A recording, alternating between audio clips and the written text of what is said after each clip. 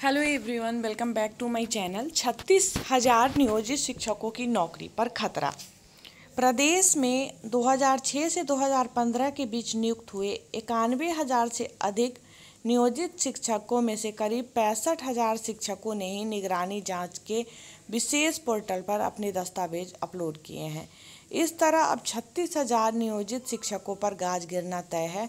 हालाँकि शैक्षणिक एवं प्रशैक्षणिक दस्तावेज़ जमा करने के लिए अभी एक दिन, यानी 20 जुलाई तक का समय बाकी है। समय सीमा पूरी होने के बाद दस्तावेज़ अपलोड न करने वाले सभी शिक्षकों को कारण बताओ नोटिस भी भेज दिया, नोटिस भी जारी किए जाएँगे। जानकारों के मुताबिक नोटिस केवल औपचारिकता होगी। दरअसल, दस्तावेज़ अपलोड नहीं करने वाले शिक्षकों को छत्तीस हज़ार नियो, नियोजित मान लिया जाएगा और उनके दस्तावेज़ पूरी तरह फर्जी है। ऐसे शिक्षकों के खिलाफ न केवल प्राथमिकी दर्ज कराई जाएगी बल्कि उनसे अब तक दिए गए वेतन की वसूली भी की जाएगी। शिक्षा विभाग ने अपने एक आदेश में इस बात को साफ़ तौर पर उल्लेख किया है।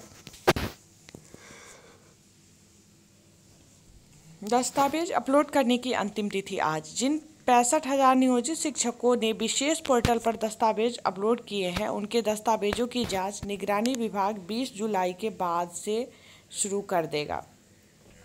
सूत्रों के मुताबिक, इस संबंध में विशेष रूप से उनके टीईटी और शैक्षिक दस्तावेज़ की विशेष जाँच होगी, क्योंकि सरकार को इस बात की पुख्ता जानकारी मिली है कि सबसे ज़्यादा फर्जीवाड़ा इन्हीं दस्तावेजों में हुई है।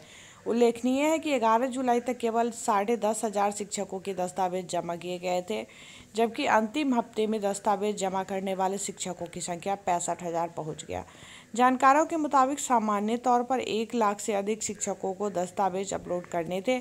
इनमें से दस हज़ार ऐसे शिक्षक हैं जो या तो त्याग पत्र दे चुके हैं अथवा उनकी मौत हो चुकी है।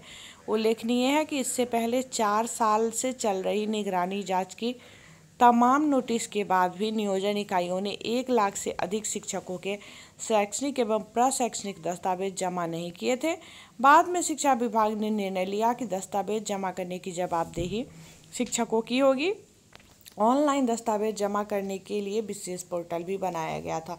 तो आज इसका अंतिम तिथि है मतलब 20 जुलाई अंतिम तिथि है पोर्टल पे दस्तावेज़ जमा करने का। लेकिन अभी तक छत्तीस हज़ार शिक्षकों ने अपना जो डॉक्यूमेंट है, वो पोर्टल पे अपलोड नहीं किया है। तो इन लोगों की नौकरी पे खतरा है और इन लोगों के डिग्री को फर्जी मानते हुए शिक्षकों को मतलब वो हटा भी दिया जाएगा और साथ ही प्राथमिकी दर्ज कराई जाएगी और वेतन वसूली भी की जाएगी।